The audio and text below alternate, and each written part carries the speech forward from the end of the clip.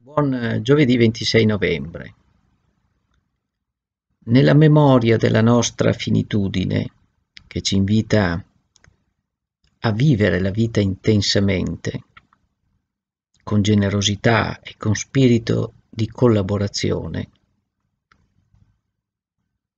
ricordiamoci di essere forgiati a immagine di Dio, ciascuno di noi. E questo ci riporta a una similitudine tra di noi, che accoglie la diversità come qualcosa che ci riguarda profondamente. Nella diversità troviamo un intimo legame con noi stessi, perché tutti, tutti, siamo ugualmente fatti a immagine e somiglianza di Dio.